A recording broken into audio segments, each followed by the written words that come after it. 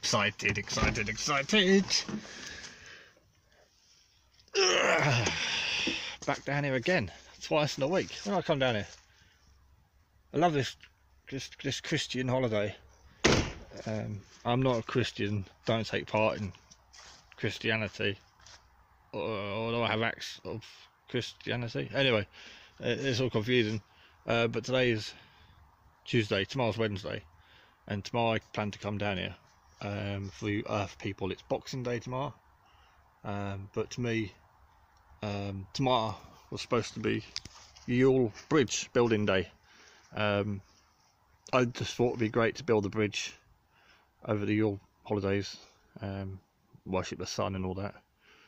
Um, I managed to get that day off from this Christian holiday because uh, Christ is massive and all that. I've got some timber there,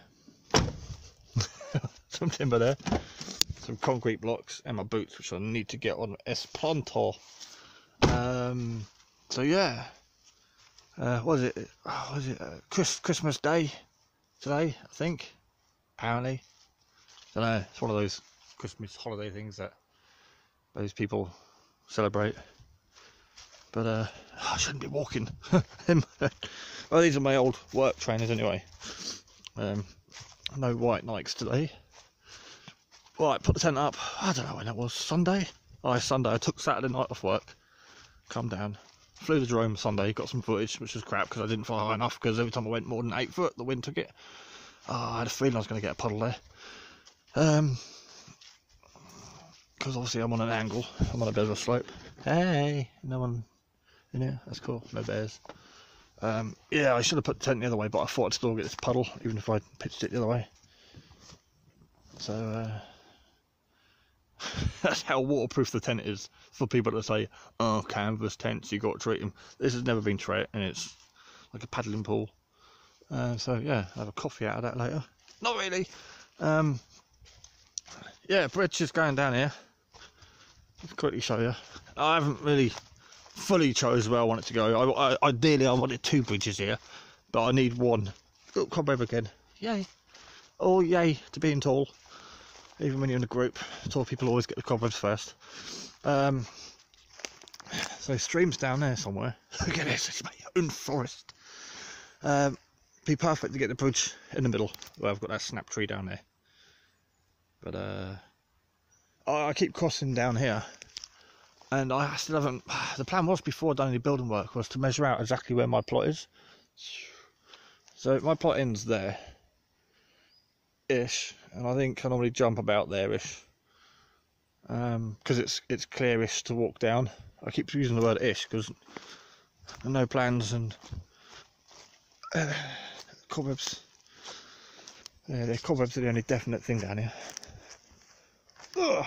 Yeah, I jump here because this is the narrow part. Oh my god, look how clear that is today. Oh. Oh, yeah. Oh. And that's about a metre jump. and it's fast flowing up. There's like a little waterfall up there. not going up to there, I'm not doing a wander around. I keep coming down here and not doing anything. But down there, it gets uh, quite a bit wider. Um, so I might might just plonk the old bridge here. Uh, although I want easy access to over there. But I've got no access down here to there. That's my dilemma. So, climbing back up, up the slope, the slope of death. Ugh, it's like one of those things on telly with all the pads and the metal frames and the water thing that they have to run and jump across. I've seen bits of that. Um, like when I've passed the TV or seen clips of it on on the internet because I'm a tinternetter, not a TV goer. Uh, it's like, yeah, it's like those obstacle courses. See, uh, down there is perfect for the bridge. But I fucking can't get to it. Um, need to clear all this away. So I get the bridge bang in the middle ish, there, there is. And uh, then the cabin can go there. All five stories of it. Um, but again, the bridge I'm putting down here can be there it is hello uh, the, the, bridge can always be picked up and moved later it's going to be quite heavy. it's going to be a substantial bridge, um, but it can be moved because I'm actually going to build it up the top on the level and then drag it down here by hand. As I said before, I can get the car down here, hence I bought I love my Daihatsu because I can fit through gaps like that. Shit it's the fan, I need to get into a tight space. It will get me through the tight space. Um, obviously where bigger vehicles won't go. Uh, the trailer is the same width, so the trailer will go where I will go. But if I do drive down here in a hurry for an emergency one day, there's no way I'm driving back out. I will need a Land Rover to pull me out, but then the Land Rover won't fit through here. Um, this is actually a tiny gap. My car will just go through, snapping off a few twigs. So badly come close a few times, even last week. I was like, fuck it, so I just go buy a Land Rover. I just know I've got no use for it, they're just cool. So, that's it. That's my rant and rabbit on. I've got the drone, two batteries half charged, cleared memory card. I actually bought the memory card this time, it's even in the drone. So, might have a bash for that later because the sun is out, it's going down, but it's out. It is two o'clock, 1400 hours. These are going to be my handrails. Um, they're rounded, treated. Um, these are going to be three of these. These will be uprights for the bridge, like train tracks, and the one's going to be used to make box sections throughout. And then obviously there are the planks in there. I don't even know how wide I want it yet. All I know is I've got my saw. I've got two boxes of brass screws. I've got a box to screw. I don't even know where they are. So I'm shit in my car. Um, these are like an inch thick. So I've got some inch and a half, two inch, two inch screws for that.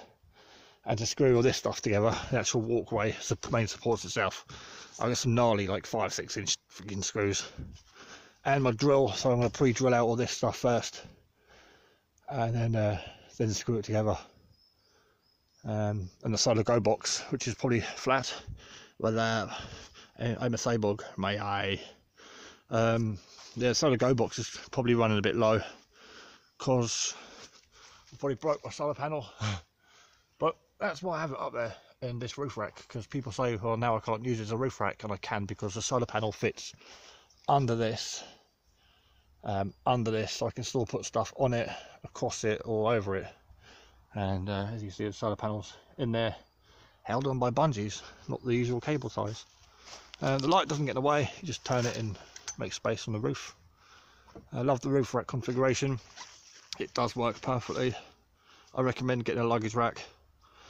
If I had a roof rack on there I'd only be able to carry planks but with the uh, that's bolted to the accessory section. This is it's got an accessory rail. This has got um, holes there so I can fit it different widths apart from this. These come off these slide out so I can put accessories in here.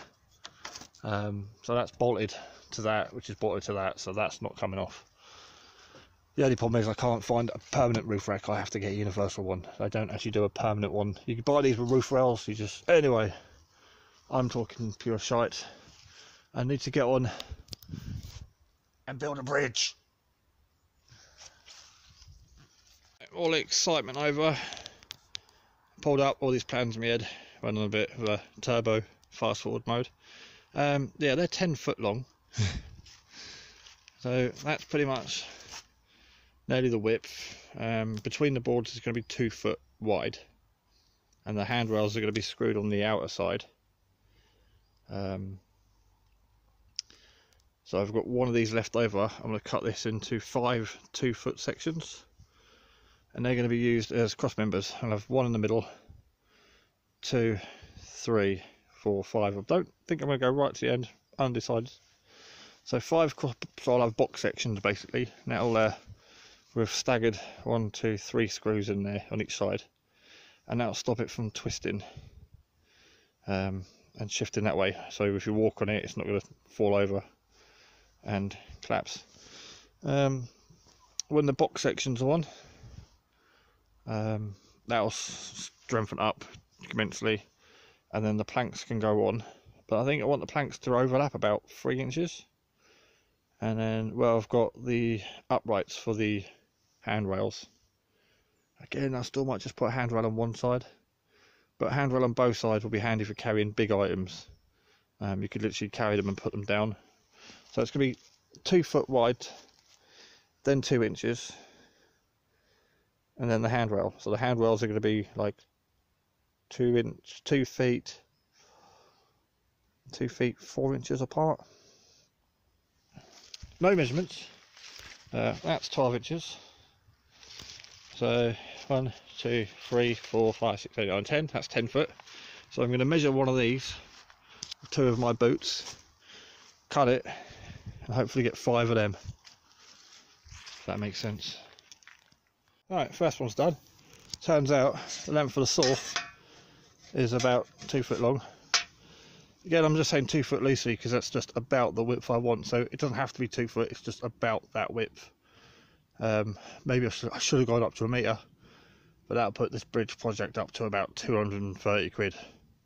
I've already spent 150, so it just needs to be wide enough to walk across. Um, so yeah, use that to get the length, the two feet that I wanted, and then obviously 90 degree angle on there.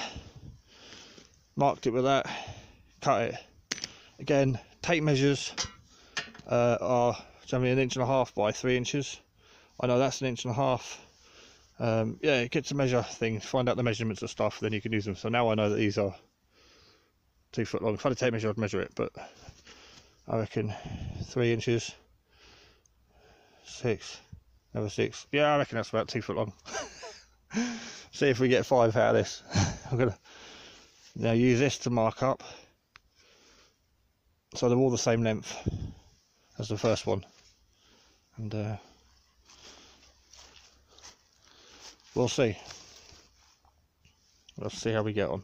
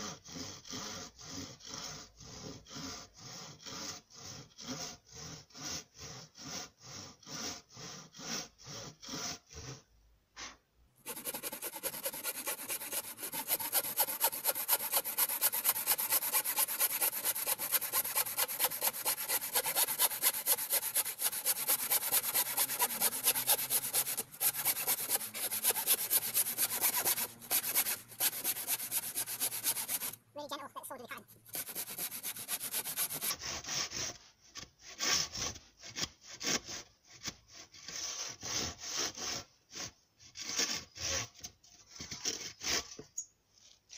Uh, plan was we've got the chainsaw on the back and it's large timber. I did plan on marking it all up and just zipping through it with a chainsaw, but I wanted a nice clean cut and level, which I probably wouldn't get with a chainsaw. Right, well we're getting it. Got it roughly marked up, sat there loosely on the ground. Um, yeah, I did mess up the cutting of the box sections. As you see, I've only got four that fit. Um, the fifth one in the middle going uh, parallel with the two sides. That, that's was a bit too short because I didn't measure it.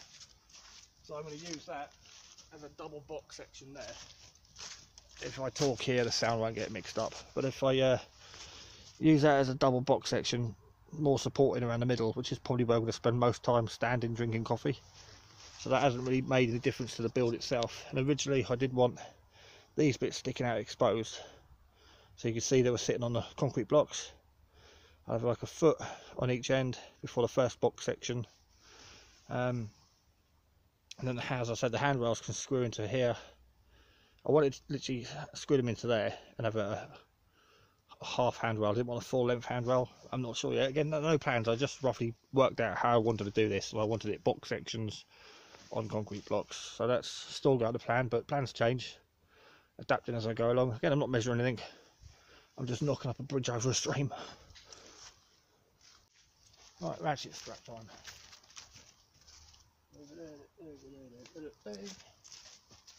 Magic marker.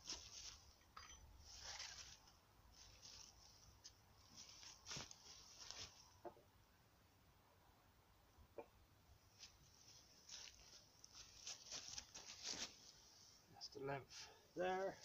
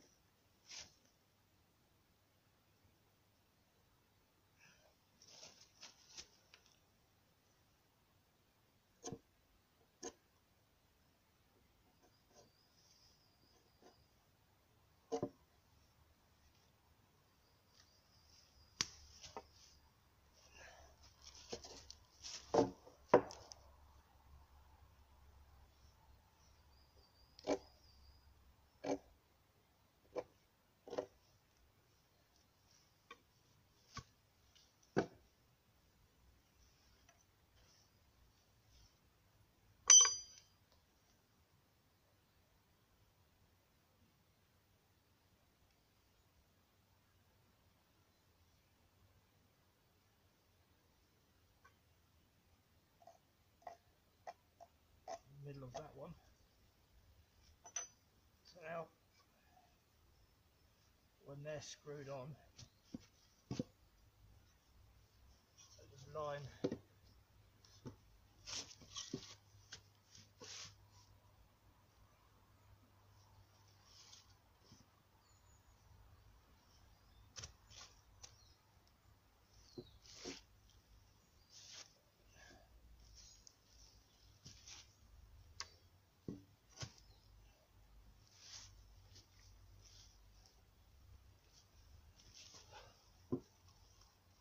three up.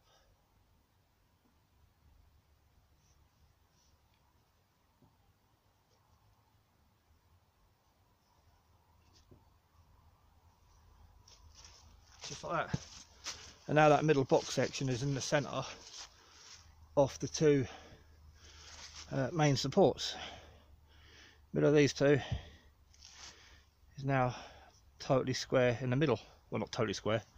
Uh, that bit there probably could come left a little bit, but not bothered about like an inch or two here and there.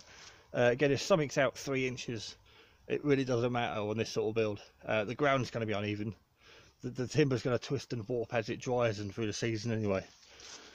And as I start screwing it in, it's going to start pulling it and twisting it anyway. Again, it's not machine cut. This is um, well, I, I had a good saw, but I ended up in someone else's shed. I've just got a cheap 4.99 wick saw.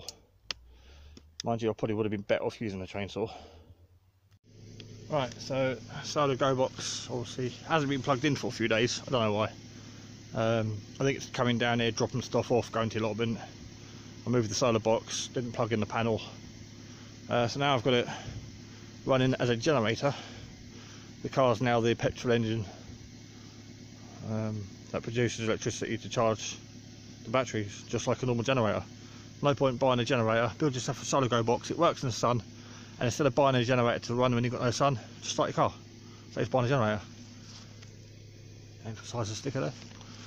So yeah, that's um, on charge. Plus, we're using the inverter. Again, that's a 12 volt, 6 volt battery box. Um, running the inverter on that, again, about 20 minutes or so. Especially with a, a corded drill. So uh, I would recommend, well, I would normally um, have the car running with that anyway. Like when I used to use that down that 350 watt inverter down the allotment with the electric strimmer. Um, I'd only get about 40 odd minutes out of it before it went flat and I'd have to plug it into the car. But when in the summer, when the panel's on that, I can run the strim all day long. Right. Slowly getting there.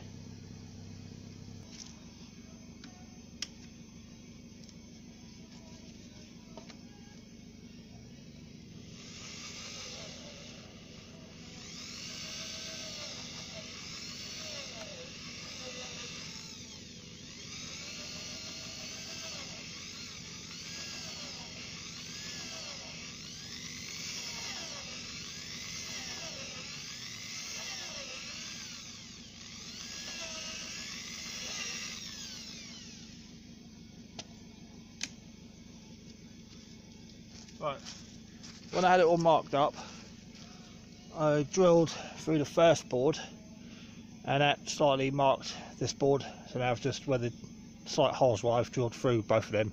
So now I can put the first cross member in. That's what happens when we use a battery box that's not charged. The drill doesn't work.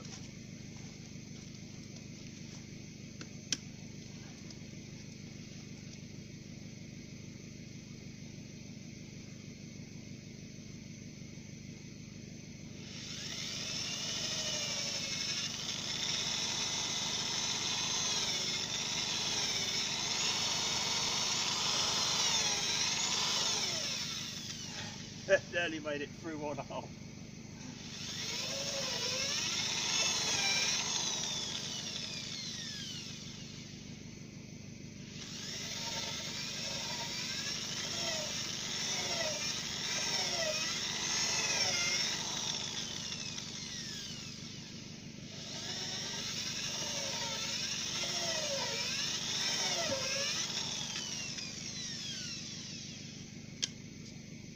I use the drill on low, it's alright.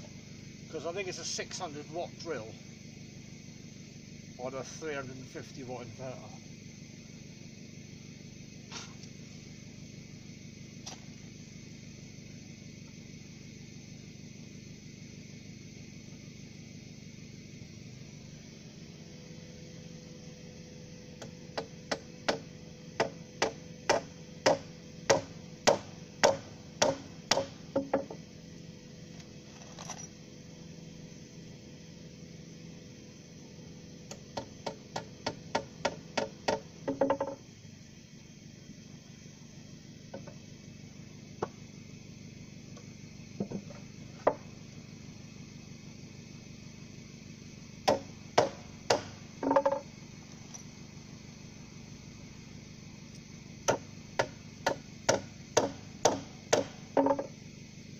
I'm just going to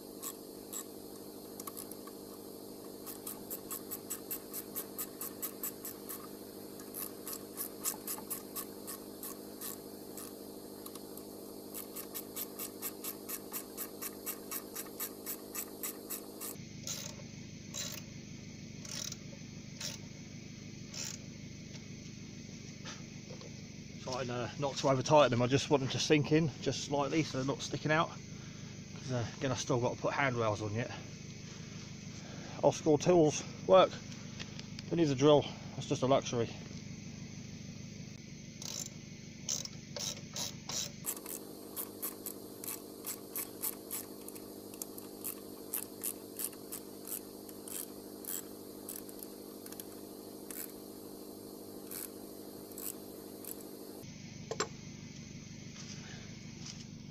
Right. Get in there. Oops. Alright, just need to screw that. Two screws in there. I've got three in there, three in there, three in there. So I'll put two holes, two screws, flip it over, do three holes on this bit of wood, and then three in that screws going in. And that's the middle bit done. That'll be the uh, obviously the main bit where I don't want to flex and bend or if I'm hanging around on the bridge. I know where else better to chill out than on your own bridge, playing Poohsticks.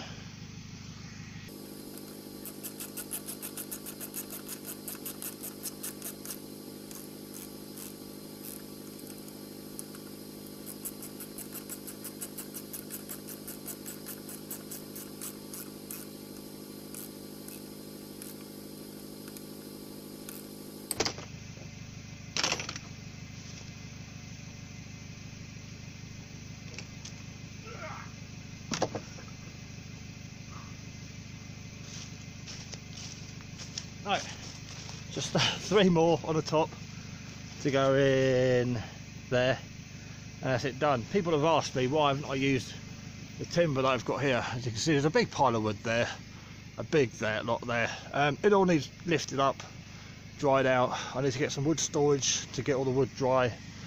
Um, I'm going to get two planks out of that one. Um, I'm not cutting that down, I can't cut that one down. But nothing grows straight and I can buy the attachment to my chainsaw, I can dry it off for months and years. This is quick and easy. It was 150 quid. It'll take me a few hours to build. But if I work the wood that's here, um, I need to get the bridge built first so I can get the tent across. Um, and then I can start working on the wood storage and so on and getting it all dried out and working the wood. But at the moment, bought it for quick and easy.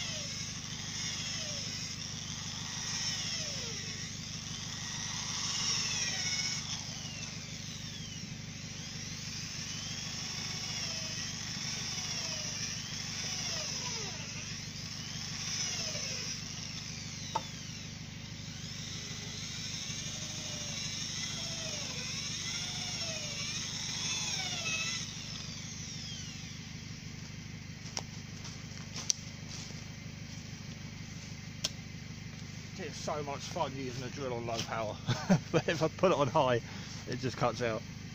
Right, dramatically running out of daylight, but we've got the last ones to do. All pre-drilled now. I want it really, the drill's just starting to work.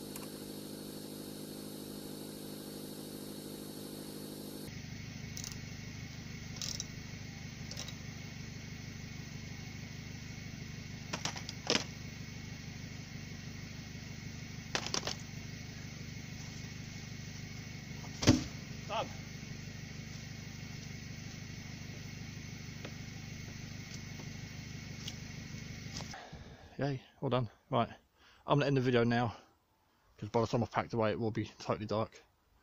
Um, but yeah, so there's a uh, Wow Sly, aka M6 CTP, and all the rest. getting the uh, the bug out, prepper retreat, weekend retreat, camp sorted. Um, obviously it's a bug out location, but it's a prepper retreat or just a weekend retreat, and uh, something I can come for ra- radio. Uh, might order the HF radio antenna tonight for the ASU. I want a 104 foot long wire up down here into the back of the ASU. but of course, if I got myself a little um, shack, little cabin, that'd be an ideal place for some QSOs and DX in front of the uh, the log burner on the other side of the bridge. right, I'll side off now. 73s, cheers and beers, and uh, I'll be back down here tomorrow to finish off this bad boy. But of course, this is the the, the longer part of the build. Again, I didn't come down till two o'clock. It took me two hours to do this. Oh, probably an hour. That was walking around waiting for that to charge up. Um, but yeah, getting that plank tomorrow isn't going to take any time at all. I get it planked up, whack the handrails on. All of the four handrails, I'm going to cut them in half. I've got four of them. Two of them are going to go cutting off. And that'll give me my uprights. And then the two that are uncut are just going to go straight across the top. simple, simple. And the, the hellish screws that I've got are going to go straight in. Um, job done. Right.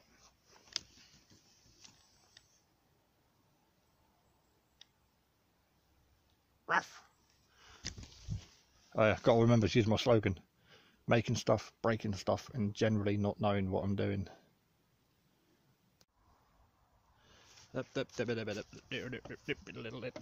I fall off because I'm watching the phone. Stand in the middle, bouncing, solid, no give on this at all. rock on, Tommy, rock on.